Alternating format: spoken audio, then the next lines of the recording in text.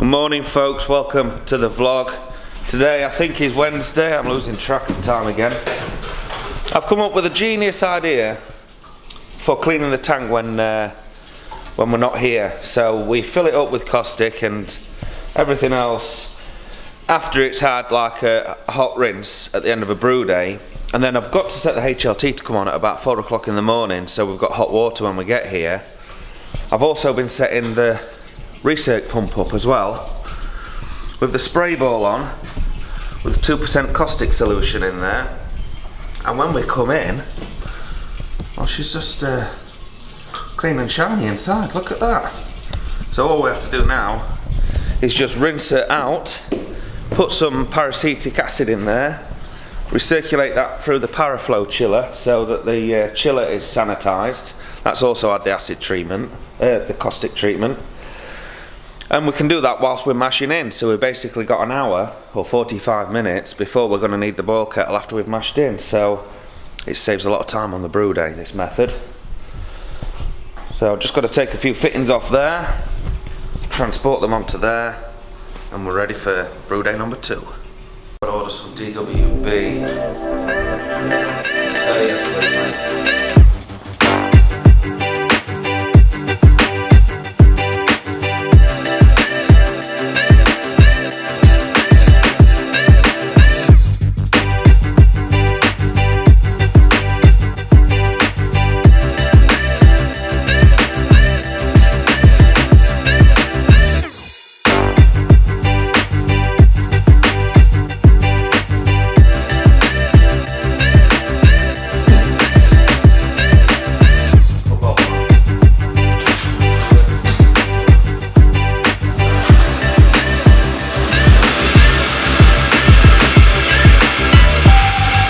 Right, we're just about to weigh out some AMS liquor treatment for the uh, for the mash. I've bought these handy little pumps, excuse me, that have this long tail and they fit in the 25 litre chemical drums that are supplied by most brewery suppliers.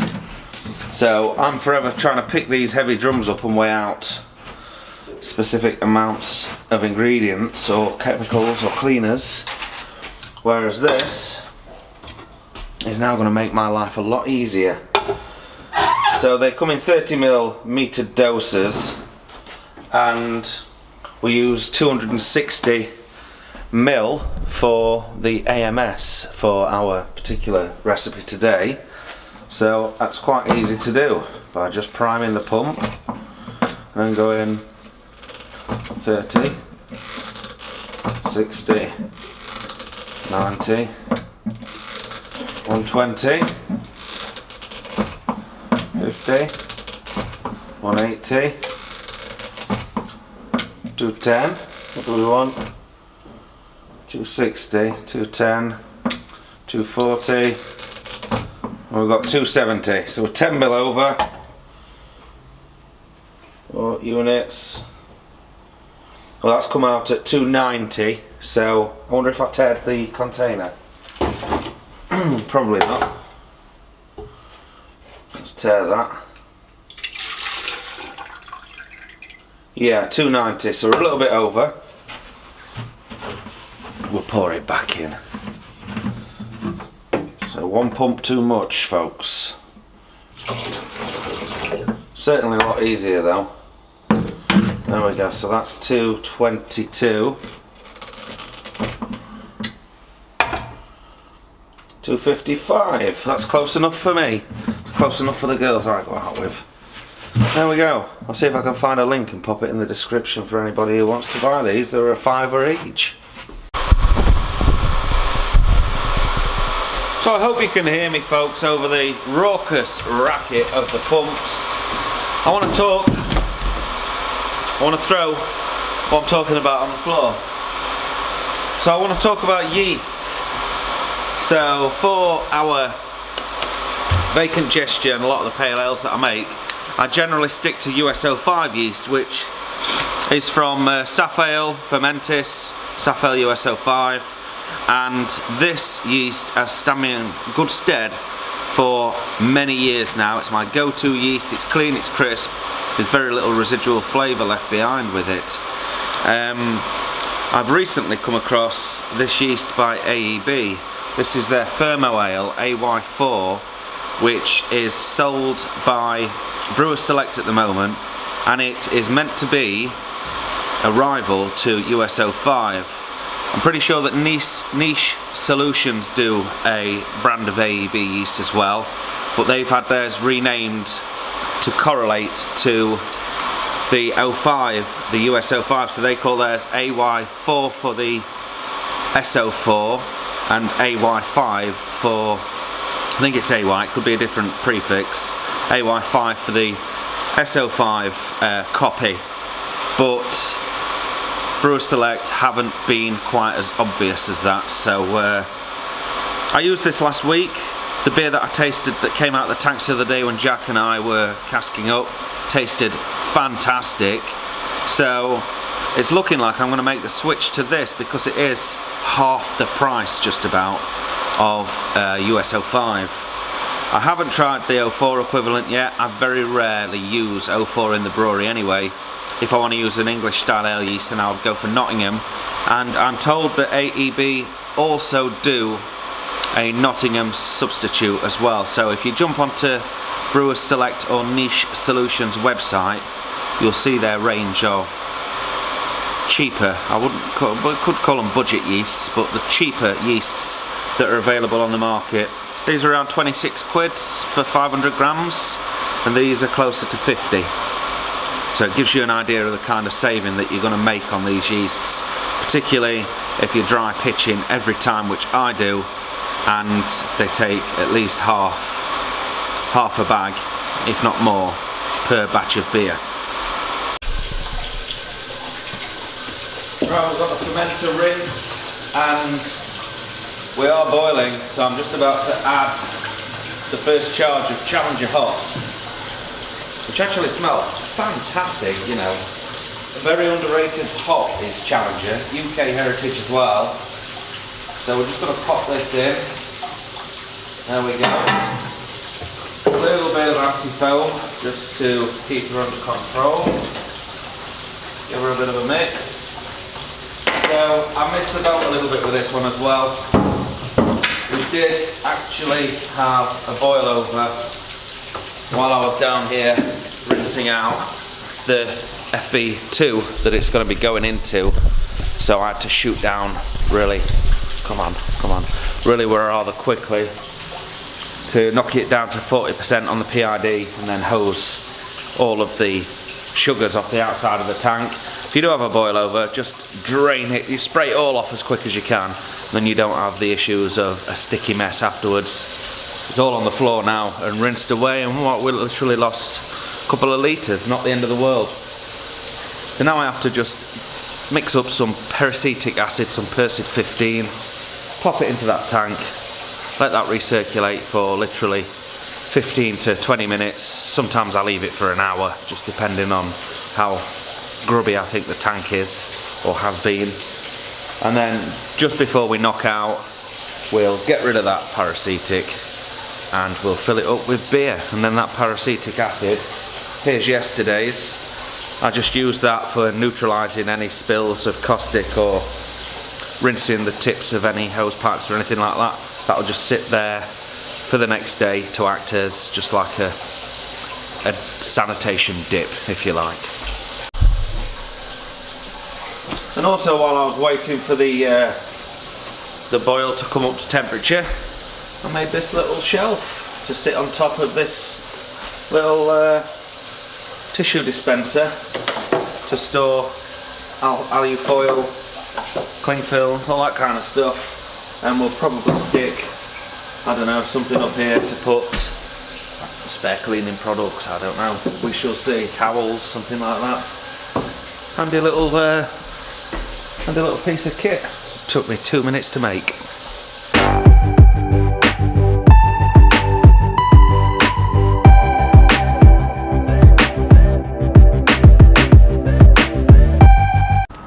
Go, folks. Jack has very kindly taken this flower bed that we built last week, week before, And he's raked it out level for me so I can get these Cascade hops in that was sent to me by Phil.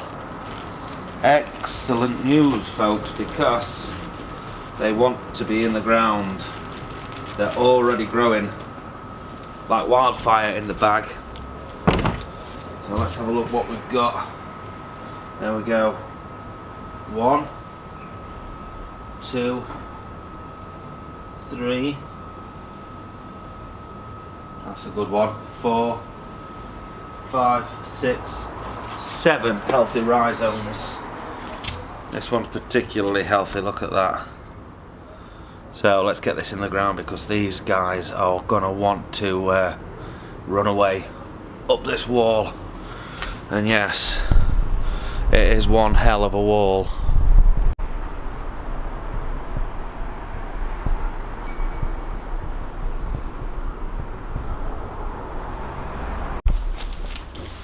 So we've got the hops in, seven rhizomes along the back edge. I predict within a week we're going to start to see some action. Just get them watered in, give them a good start and also get any muck off of this wall.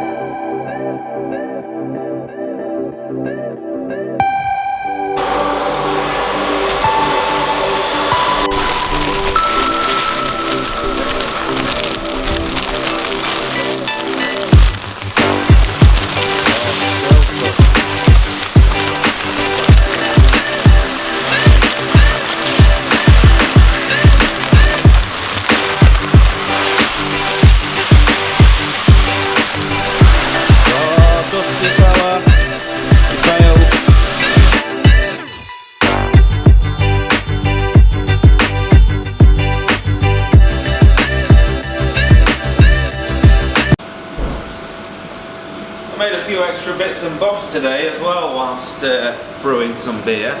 So we've just put it in the back of the car. I've got uh, a little shelf to put next to the boiler at home to put all the cereals and stuff. I think I talked about this the other day. So I'm just going to put some caustic in here so that's ready to come on and recirculate and clean tomorrow morning when the HLT comes on. And we're going to brew the Jaded Pioneer tomorrow, the first time since I left IVB. Uh, and then I've also got to just pop a little bit of yeast into that fermenter. Then we'll go home and do this. Uh, we'll do this shelf.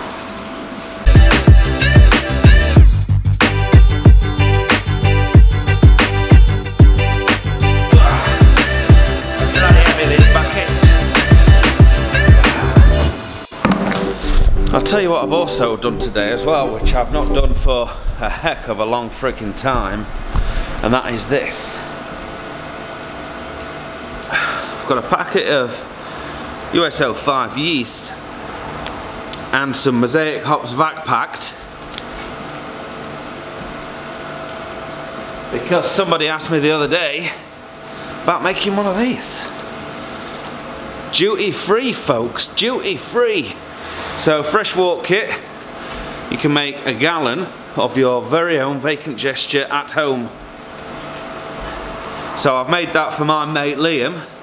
He's going to ferment that at home uh, over the next week or two. So, hopefully, they'll bring us a sample in to see how it turned out. I'm very excited because if this works, I might start selling these through the pub for people that want to brew our beers at home, which is uh, something I wanted to do in the past but never got round to it. The only issue is finding a fair priced source for the HDP containers that we've put them in. I probably can though. All is calm in the brewery. Everything is off, ready for tomorrow. Everything's at temperature, hence the glycol chiller not kicking in. So let's go home and put this freaking cereal storage shelf up. Woo! Rock and fucking roll, baby.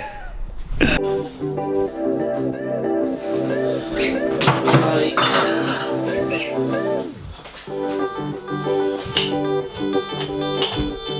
you.